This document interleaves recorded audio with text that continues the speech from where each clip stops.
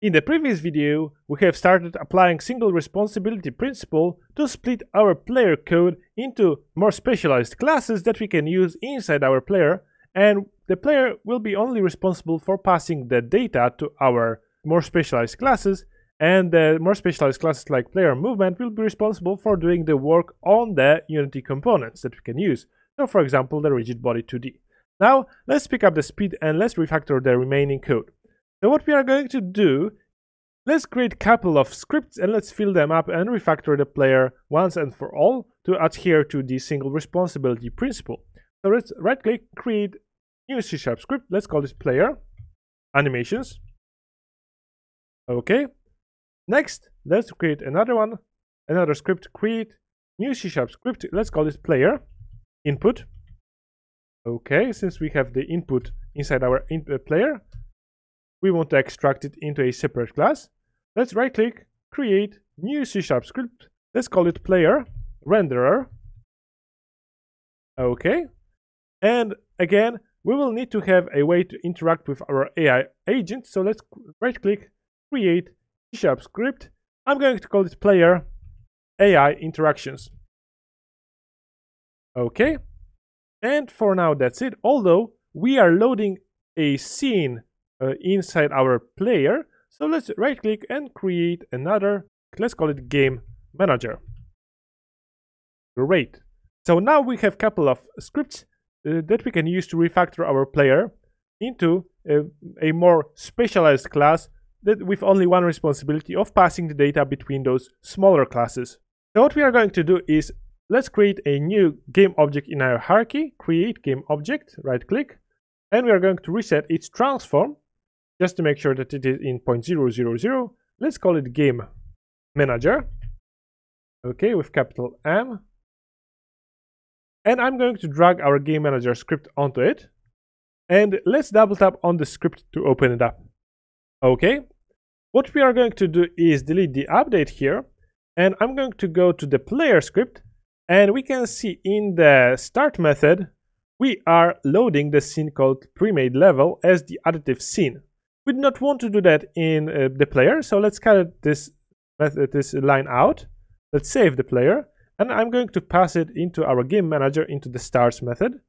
Click Alt Enter on the scene manager to be using Unity Engine Scene Manager management in the as the library. So it is uh, it has appeared at the top of our script. And now our game manager will be responsible for loading the pre-made level into our game. Great. Let's go back to Unity. Okay, we have refactored yet another functionality out of the player script. Let's choose the player in our hierarchy and let's drag the player uh, interactions, player animations, player movement. Uh, it is already on our player, so we do not need to drag it. Player input and player render onto our player game object. So we will be able to now refactor the code into those components and access them through the player script. What we are going to do is, let's, for example, start with our renderer. So let's double tap on player renderer. Great.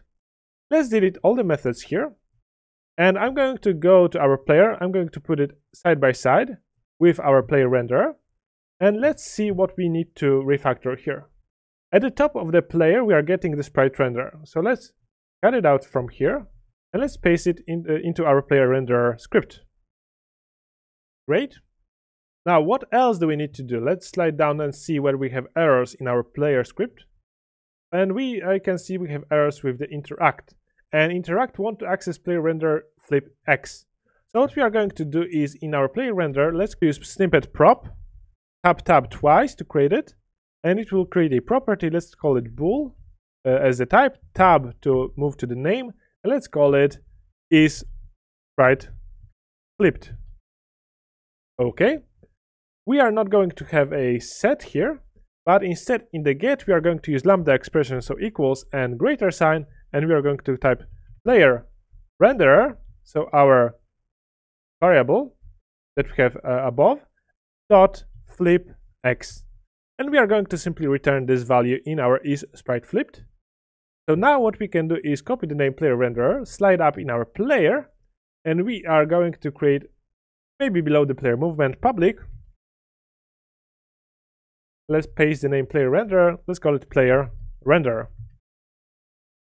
Again, we can copy the name and get the component in the start method. So paste player render equals get component player render. Okay, now we have access to it. And what we are going to do is we are going to copy the name, slide down, and we are, when we need to access this flip x, we are going to uh, call player render dot, and we are going to is uh, call is sprite flipped. Okay, this was in the interact method. What else? Where else do we have uh, errors? In the move player, but this is different. We want to set this value. So setting the value to the correct value should be done in our player render. So we are going to cut out this and let's type player player render and we are going to call render player. Okay, and we need to pass here the movement vector. We do not have this method, so alt enter and generate this method.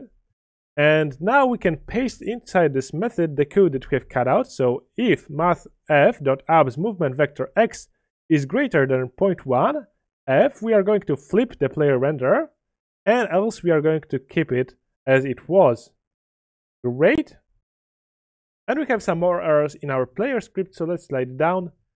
Okay, this flash red coroutine is unable to access the player renderer, so let's cut it out and paste this code inside our player renderer.